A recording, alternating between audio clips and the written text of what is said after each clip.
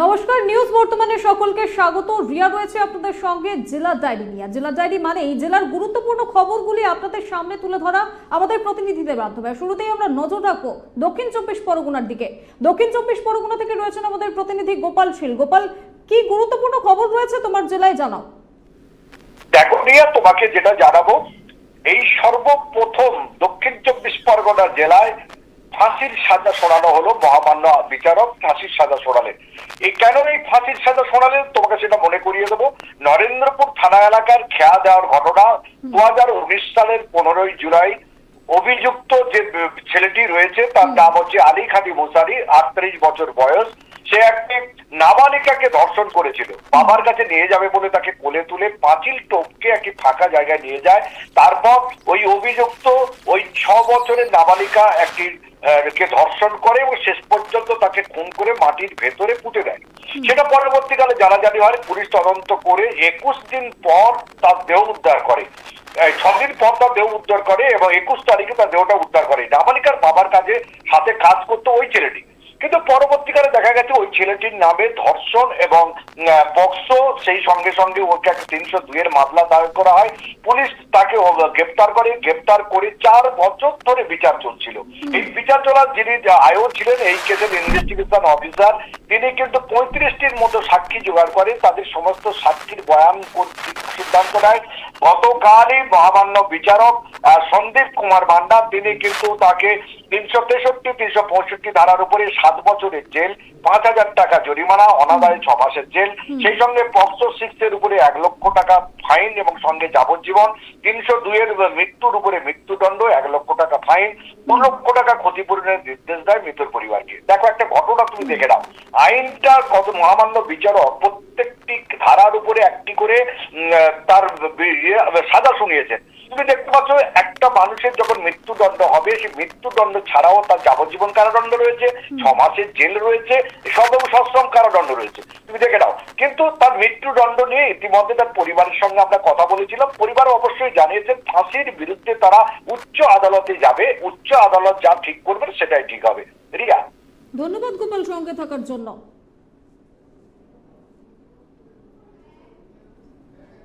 মালদার দিকে যাওয়া যাক। মালদাতে কি খবর রয়েছে জানব আমাদের প্রতিনিধি মাধব কুমার মন্ডলের থেকে। মাধব, কি খবর রয়েছে তোমার জেলায় আজকে গুরুত্বপূর্ণ খবর? রিয়া, তোমায় জানি নাকি মাল পুরাতন মালদা ব্লকে ভাবুক অঞ্চলের প্রধানের প্যাড, শিল এবং সই, জাল করার অভিযোগে শ্রীগড়ের ঠাঁই হলো মালদা থানায় কর্মরত এক সিভিক ভলেন্টিয়ারের।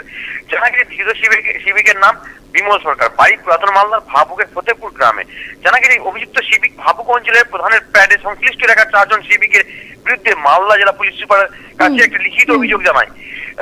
জানায় প্রধানের জালসই করে। অভিযুক্ত শিবিক লিখি- লিখিত অভিযোগ করে যে চারজন এলাকায় ভাবুকের শিবিক এলাকায় জুয়া মদের আশা চালাচ্ছে এই ঘটনায় তো ঘটনা মালদা থানা পুলিশে জানাতে পেরে তদন্তে নেমেছে প্রধান জিজ্ঞেস করলে চক্ষু চোখ কাছে উঠে। এবং তিনি জানান প্যাড ও শির আমার না, এটি সম্পূর্ণ চাল। তখনই তদন্তে নামে মালদা থানার পুলিশ এবং ওই অভিযুক্তের সিভিককে গত রাত্রে গ্রেপ্তার করে এবং তাকে আজ জেলা আদালতে পাঠানো হয়। এই কাজ করার পিছনে রহস্য রয়েছে এমনটা জানাচ্ছেন প্রধান। ওই সিভিক কিছুদিনের জন্য ভিলেজ পুলিশে কার- হয়েছিল। কিন্তু পরবর্তীতে আবার তাকে সরিয়ে নেওয়া অভিযুক্ত- সিভিক ওই চারজন সিভিকের উপরে ষড়যন্ত্র সন্দেহ করছে। তাই আক্রোশবশত এই কাজ করেছে রিয়া। ধন্যবাদ মাধব সঙ্গে থাকার জন্য। মালদা থেকে ছিলেন আমাদের প্রতিনিধি মাধব কুমার মন্ডল মালদার খবর আমরা জানলাম এরপর আমরা চলে যাব পূর্ব মেদিনীপুরের দিকে। পূর্ব মেদিনীপুর থেকে রয়েছেন আমাদের প্রতিনিধি জাহাঙ্গীর বাদশাহ। জাহাঙ্গীর কি খবর রয়েছে তোমার জেলার আজকে গুরুত্বপূর্ণ খবর? দেখো রিয়া পূর্ব মেদিনীপুর জেলার বেশ কয়েকটি কিন্তু আজ গুরুত্বপূর্ণ ঘটনা ঘটেছে। তার মধ্যে কিন্তু রাজ্য জুড়ে যেমন নিম্নচাপ বিভিন্ন ছাদে। অন্যদিকে কিন্তু আহ, বামফ্রন্টে যে ছাত্র যুব সংগঠন আছে ডিআইএফ এর উদ্যোগে পূর্ব মেদিনীপুর জেলা সহ রাজ্যের বিভিন্ন জেলায় কিন্তু ইনসাফ যাত্রা পরিক্রমা করছে। আজকে দুপুরের পূর্ব মেদিনীপুর জেলার রাতুলিয়াতে প্রবেশ করে এই ইনসাফ যাত্রা যার অগ্রণী ভূমিকায় ছিলেন মীনাক্ষী মুখার্জি, রবীন দেব সহ একাধিক ছাত্র এবং রাজ্য সিপিএম এর রাজ্য নেতৃত্ব ছিলেন। ওইখান থেকে যাত্রা প্রবেশ পশ্চিম মেদিনীপুরে প্রবেশ করার পর তাদেরকে ফুল দিয়ে স্বাগত দিয়ে বরণ করে নেওয়া হয়। তারপর ইনসাফ যাত্রা প্রবল বৃষ্টির উপেক্ষা করে ছাতা মাথায় দিয়ে কিন্তু তারা জাতীয় সড়ক এগিয়ে আসে। এগিয়ে এসে ওখান থেকে বেরিয়ে যায় পাঁশকুড়া শহর। পাঁশকুড়া শহর পরিক্রমা করে একদম যায় রাধামণির দিকে পাঁশকুড়া তমুক রাজ্য সড়কে রাধামণির দিকে এগিয়ে যায় এবং বিভিন্ন জায়গায় কিন্তু স্ট্রিট কর্নার হয়। মূলত রাজ্য সরকারের যে একাধিক দুর্নীতি একাধিক নেতা মন্ত্রী জেল জেলে বন্দি এবং বিজেপির যে কেন্দ্রীয় নীতি এই সমস্ত নিয়ে তারা কিন্তু পদযাত্রা মানুষকে বলেন এবং স্ট্রিট কর্নারে তুলে ধরেন। এবং সাতই জানুয়ারি যে ব্রিগেডের জনসভা আছে সেই জনসভা কি উদ্দেশ্যে করা হবে এবং কারা কারা এই জনসভা আসবেন কি কি বক্তব্য রাখবে সেসবও তুলে ধরা হয় বিভিন্ন স্ট্রিট কর্নার থেকে। রিয়া? ধন্যবাদ ধন্যবাদ জাহাঙ্গীর। এরপর আমরা নজর রাখব শিলিগুড়ির দিকে। শিলিগুড়ি থেকে রয়েছেন আমাদের প্রতিনিধি রণজিৎ বোস। কি খবর রয়েছে জানব আমরা। রণজিৎ কি খবর রয়েছে? শিলিগুড়ি থেকে যে খবরটি রয়েছে সেটি হচ্ছে গতকাল কিন্তু চার দিনের উত্তরবঙ্গ সফরে শিলিগুড়িতে এসে পৌঁছেছেন মুখ্যমন্ত্রী মমতা বন্দ্যোপাধ্যায়। গতকাল তিনি বাগডোগরা বিমানবন্দর থেকে কিন্তু সোজা উঠে গিয়েছেন কার্শিয়াং এর একটি প্রাইভেট রিসর্টে সেখানে কিন্তু তিনি রাত্রিবাসের পর আজ সকালবেলাতে কিন্তু তিনি পাহাড়ের যে চা বাগান রয়েছে সেই চা বাগান তিনি পরিদর্শন করেন এবং সেখানকার ওয়ার্কারদের সাথে কিছুক্ষণ সময় কাটান। পরবর্তীতে কিন্তু তাকে দেখা যায় পাহাড়ের যে ট্র্যাডিশনাল পোশাক রয়েছে সেই পোশাক পরিধান করে কিন্তু চা চা বাগানের যে নিয়মে পাতা তোলা হয় তাদের থেকে শিখে নিয়ে কিন্তু কিছুক্ষণ সেখানে পাতা তোলেন এবং সেই। বাগানের চা খান এবং কর্মীদের সাথে কথা বলেন বিভিন্ন রকম সুযোগ সুবিধা এবং সরকারি প্রকল্প সুবিধা তারা পাচ্ছে কিনা সে সমস্ত বিষয় নিয়ে।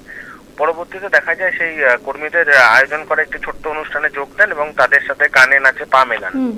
পরবর্তীতে সেখানে পাহাড়ের চা বাগানের কর্মীদের কিন্তু শীতবস্ত্র তুলে দেন এবং বিভিন্ন পাট্টা এবং যে সমস্ত তাদের দাবি দাবাগুলি রয়েছে তা শোনেন এবং দ্রুত সেগুলো যাতে সমাধান হয় তার পরিকল্পনা করেন এবং সরকারি আধিকারিকদের নির্দেশ দেন যাতে সমস্ত রকম সরকারি প্রকল্পের সুবিধা পাহাড়ের বিভিন্ন জনজাতি সহ চা বাগানের যে কর্মীরা রয়েছে তারা যাতে পান।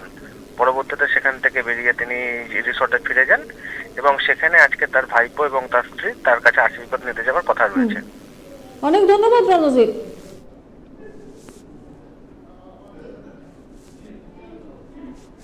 চলে যাব উত্তর চব্বিশ পরগনার দিকে। উত্তর চব্বিশ পরগনার বসিরহাট থেকে রয়েছেন আমাদের প্রতিনিধি শ্যাম বিশ্বাস। শ্যামের থেকে জানব সেখানে গুরুত্বপূর্ণ খবর কি রয়েছে?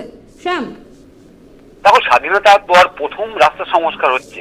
তাও আবার কিন্তু নিম্নমানের সামগ্রী দিয়ে অর্থাৎ নিম্নমান বলতে কোন পর্যায়ে পৌঁছেছে দেখো? সাদা বালি অর্থাৎ ধুলো দিয়ে কিন্তু রাস্তা ঢালাই হচ্ছে।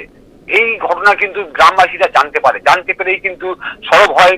যে ঠিকাদার সংস্থা রয়েছে সেই সংস্থার যারা কর্মী ছিল তাদেরকে জানানো হয় যে এই রাস্তা যে এত বছর পর আমরা পাচ্ছি তাহলে এই ধরনের কেন কাজ হবে? সেখানে বোর্ডে লাগানো আছে তিন কিলোমিটার রাস্তার কাজ টোটালটাই হবে। কিন্তু জেলা পরিষদের টাকা নেই বা কোনো সমস্যা আছে যার কারণে কিন্তু বর্তমানে এক থেকে দেড় কিলোমিটার রাস্তা কাজ হবে। তাও পঁচিশ লক্ষ টাকা সেখানে ব্যয় করে কাজটা হচ্ছে। সেখানে দেখা গেছে যে ছয় ইঞ্চি যে থিকনেস হওয়ার কথা রাস্তার সেই রাস্তা হচ্ছে কোথাও তিন ইঞ্চি, কোথাও দুই ইঞ্চি, কোথাও চার ইঞ্চি। গ্রামবাসীরা কিন্তু কোনো রকম ভাবে মানতে নারাজ। যার কারণে তারা কাজ বন্ধ রেখে দিয়েছে। কাজ করতে দেয়নি। দেখো, যখন আমরা খবর করতে যাই, তখন কিন্তু ঠিকাদার সংস্থার লোকজন সেই সময় কাজ করছিল। সেই সময় আমাদেরকে দেখে তারা কিন্তু পিটটান দেয়। সেখান থেকে চলে যায়। যাওয়ার পরে কিন্তু তারপর আমরা যাই প্রধান আছে, যে গোলাম মোস্তাফা, যে শাকচুল বা গুন্ডের যে প্রধান আছে, প্রধানকে জিজ্ঞাসা করলে প্রধান কিন্তু পুরো দায়িত্বে থাকা, দিয়ে দেয় কিন্তু জেলা পরিষদের উপরে। যে রাস্তাটা হচ্ছে জেলা পরিষদের রাস্তা অথেব ঢাকঢোল পিটিয়ে কিন্তু ওই প্রধান শিলান্যাস করেছিল আট মাস আগে। তারপর আট মাস পরে সেই রাস্তার কাজ শুরু হয়।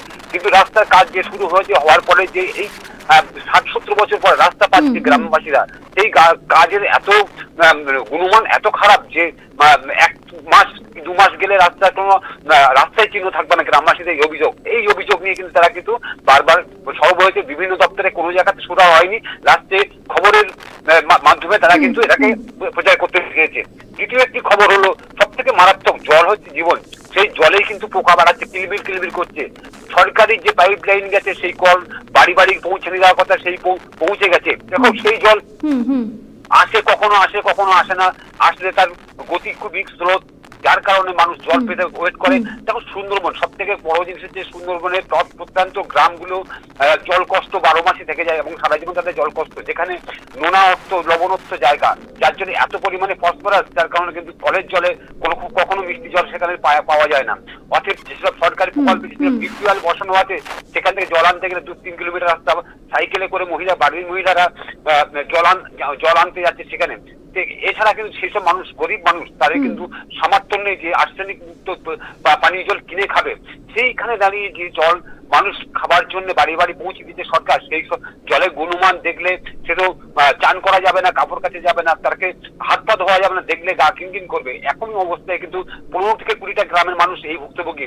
তারা কিন্তু বিভিন্ন দপ্তরে জানিয়েছে যখন জানানো হচ্ছে তখনই বলছে হ্যাঁ হ্যাঁ আমরা এই এই কয়েকদিনের মধ্যে ঠিক হয়ে যাবে। কিন্তু এই ঠিক হতে হতে হতে হতে দীর্ঘদিন ধরে এই ধরনের অবস্থায় সেই মানুষ জল পান করছে। একাধিক মানুষ সেই জল পান করে বিশেষ করে স্কুলের ছোট ছোট বাচ্চারা তারা বিষাক্ত জল পান করে কিন্তু অসুস্থ হয়ে কেউ হসপিটাল ভর্তি আছে কেউ বাড়িতে পড়ে আছে। এই এই ধরনের সমস্যা নিয়ে কিন্তু গ্রাম জর্জরিত। টোটাল গোটা সুন্দরবনের মানুষ কিন্তু এই নিয়ে বিক্ষিপ্ত দেখাচ্ছে এবং তারা ক্ষিপ্ত হয়ে গেছে। যেসব দপ্তর রয়েছে সেসব দপ্তরে কিন্তু আমরা যখন জানতে চাই দপ্তরের পক্ষ থেকে বলা হয় যেটা এটা আমার দায়ী- দায়িত্ব নেই এটা অমুক অমুক অফিসে যেতে হবে অমুক অফিসের দায়িত্ব আছে এই ধরনের দায় ঢালাঢালি কাজ কিন্তু গ্রামের মানুষ সেটা সহ্য করতে পারছে না। গ্রামের মানুষ চেয়েছে যে আমরা যে জল রাস্তা সবই তো আমাদের এখানে খারাপ তা অথব আমরা যেটা জলটা খাব জলটা আমাদের তো ভালো দিক রাস্তা নাই হাঁটার যোগ্য নেই সম- মানে সমস্যা আছে সেটা মানলাম। কিন্তু রাস্তা না পাই কিন্তু জলটা তো যেটা জীবন যেটা খেয়ে মানুষ বেঁচে থাকবে সেটা যদি সঠিক পায় তাহলে তাহলে তাহলে কিন্তু তারা খুশি। ধন্যবাদ শ্যাম।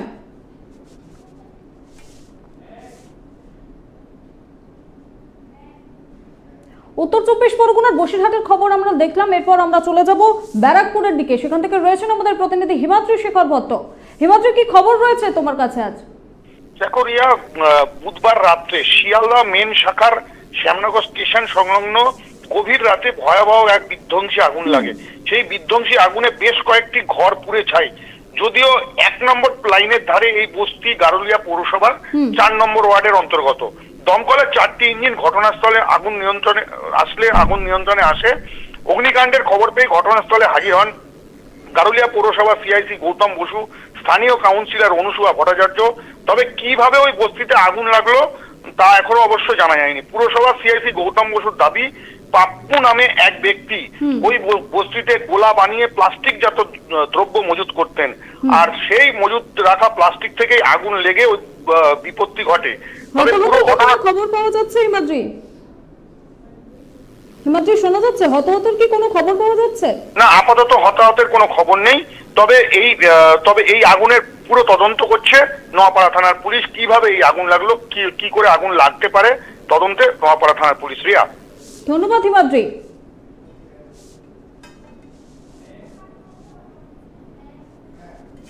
এরপর আমরা চলে যাব উত্তর চব্বিশ পরগনার বনগার দিকে। সেখান থেকে রয়েছেন আমাদের প্রতিনিধি দীপ বিশ্বাস। দ্বীপের থেকে জানব, সেখানে কি খবর রয়েছে?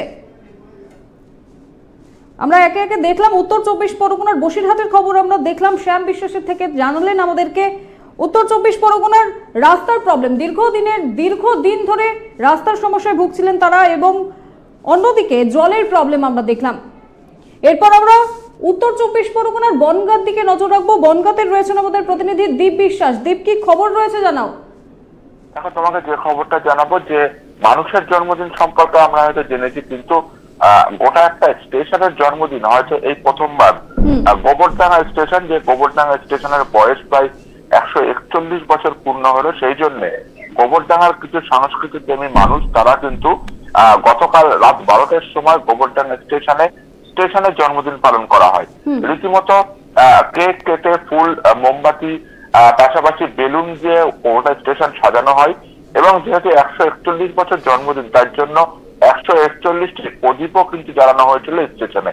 এই অনুষ্ঠানে কিন্তু উপস্থিত হয়েছিলেন গোবরডাঙ্গা স্টেশনের তিনি স্টেশন মাস্টার তিনি।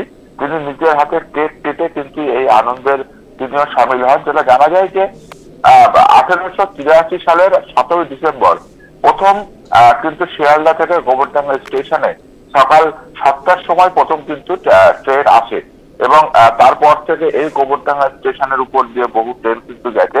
তার জন্য গোবরডাঙ্গার বাসী তারা কিন্তু স্বতঃস্ফূর্ত ভাবে এই খবরডাঙ্গা স্টেশনের যে জন্মদিন সেই জন্মদিন পালন করল। রিয়া। অনেক ধন্যবাদ দীপ সঙ্গে থাকার জন্য। প্রত্যেক দিন আমরা জেলার ডায়েরিতে গুরুত্বপূর্ণ খবরগুলি আপনাদের সামনে তুলে ধরার চেষ্টা করি এবং আমাদের প্রতিনিধিরা আপনাদের সামনে তুলে ধরেন সেই গুরুত্বপূর্ণ খবরগুলি, জেলার বিভিন্ন গুরুত্বপূর্ণ খবর।